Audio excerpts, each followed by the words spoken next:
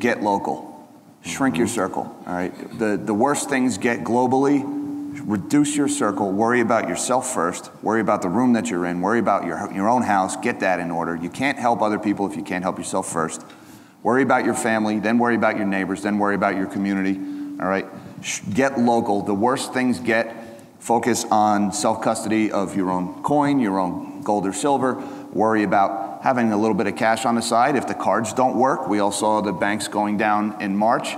And you know there was a question of will the bank cards be working within a week or so. Now they managed to kick that can down the road a little bit longer, and they they stopped the bleeding. But what they really did was they slapped a tourniquet on the banking system. You still have that gaping hole in the arm. If they take the tourniquet off, it's going to start bleeding out again.